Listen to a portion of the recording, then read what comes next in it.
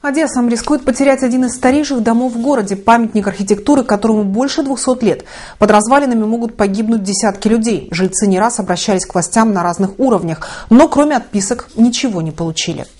Дом на углу Дерибасовской и Решельевской издали выглядит вполне благополучно и, кажется, простоит еще не одну сотню лет. Но это только кажется. При ближайшем рассмотрении можно увидеть огромную трещину вдоль всего фасада. Из-за перекоса стен надвое разорвало балкон. Обломки камней уже не раз падали на тротуар. Впрочем, это еще мелочи. Зрелище в коридоре коммунальной квартиры только для людей с крепкими нервами. Такие трещины обычно остаются после бомбежки или землетрясения. Но ни то, ни другое дом не разрушило. Он разрушается в мирное спокойное время. Причем трещины образовались сразу на двух несущих стенах, внутренней и наружной. Одна половина дома откололась и все дальше отходит от другой. Трещина по стене подъезда постепенно спускается все ниже и уже достигла первого этажа. Первоначальное было, э, значит, это разрушение было подвала турецкими гражданами.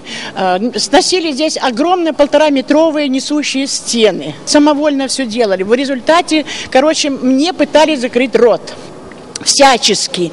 Четыре раза пытались меня убить.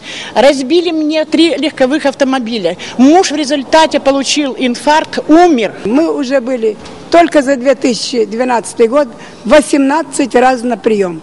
Все нам пишет ответы, что они уже заказали экспертизу. Дом не только жилье для многих семей. В истории Одессы это замечательное место. Проездом, будучи в Одессе, останавливался Суворов. Тоже есть такие э, в письмах старых одесситов между собой. Здесь бывал Пушкин казино играл. Здесь давали обед в честь приезда Гоголя. То есть это дом совершенно уникальный. С инженерной точки зрения это вполне объяснимо. Построенный более двух веков назад кирпичный дом был двухэтажным. Сто лет назад настроили еще три этажа, но уже из ракушечника. Масса постройки увеличилась по меньшей мере вдвое. После турецкого ресторана в подвале новый хозяин верхней квартиры настроил так называемую мансарду, которая фактически является еще одним полноценным этажом. Сосед с другой стороны возвел не просто дополнительный этаж, он даже оборудовал на крыше бассейн. На днях еще один бизнесмен прорубил другую несущую стену, чтобы вставить дверь в помещение нового заведения. Самое же страшное мы увидели в подвале. Вся многотонная масса дома с позднейшими настройками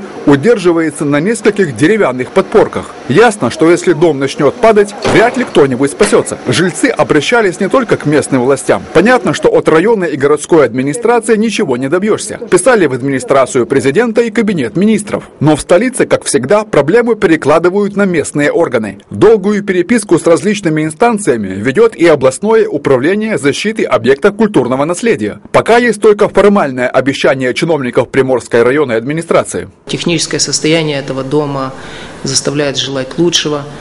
Э, дом находится ну, в состоянии, которое требует э, принятия мер к его ремонту и даже комплексной реставрации.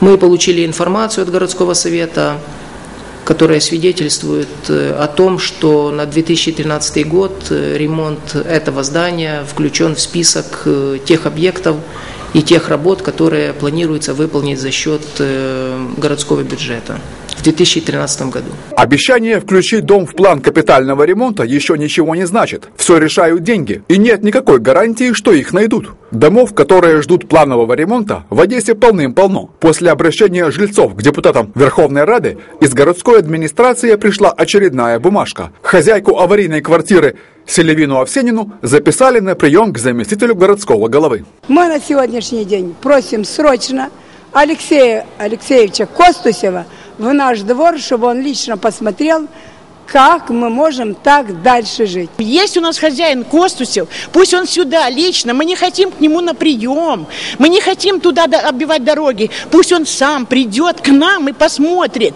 потому что мы не перестанем, несмотря ни на что, не несмотря угрозы, несмотря ни на что, мы будем бороться за этот дом. А пока время идет, дом продолжает разрушаться. К тому же, как говорят жильцы, квартиру на верхнем этаже выкупил какой-то француз и собирается возвести там еще одну надстройку постройку. Даже разрешение на строительство уже получил. Что думает городская власть и думает ли вообще? Ведь речь идет не только о памятнике архитектуры, но и о человеческих жизнях. Александр Виноградов, Евгений Войтенко, Руслан Акаев, телекомпания «Круг».